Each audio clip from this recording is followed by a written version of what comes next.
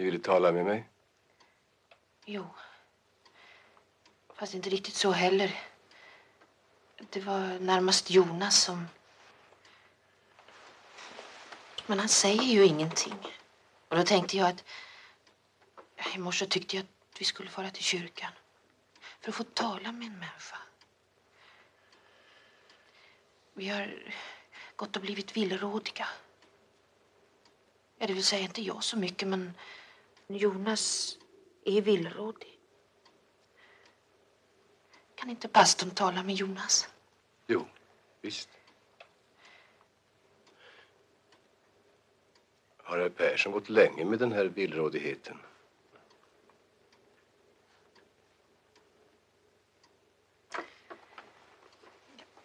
Det började i våras.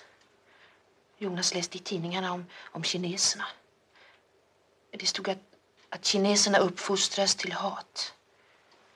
Det stod att det är en tidsfråga innan kineserna har atombomber. De har ingenting att förlora. Så stod det. Jag oroar mig ju inte så mycket, men det kanske beror på att jag inte har så mycket fantasi.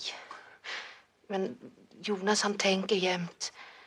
Och vi vänder och vrider. Och jag kan ju inte hjälpa så mycket. Vi har ju tre barn och så den som kommer. Ja. Vi går ju alla med samma rädsla. Mer eller mindre. Vi måste lita på Gud.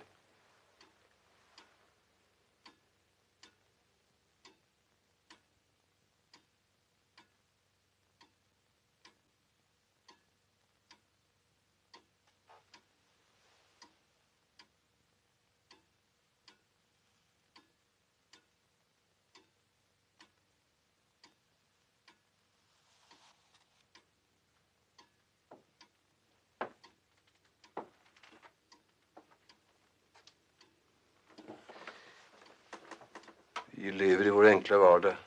Och så tränger fasansfulla upplysningar in i tryggheten. Sammanhangen blir så överväldigande och Gud blir så avlägsen. Ja, Jag känner mig så maktlös. Jag vet inte vad jag ska säga.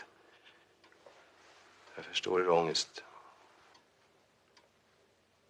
Vi måste ju leva. Varför måste vi leva?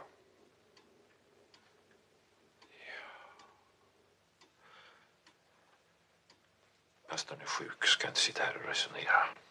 Vi kommer ju ändå ingen vart. Jo, låt oss tala med varandra. Låt oss säga allt som kommer för oss. Men det är omöjligt.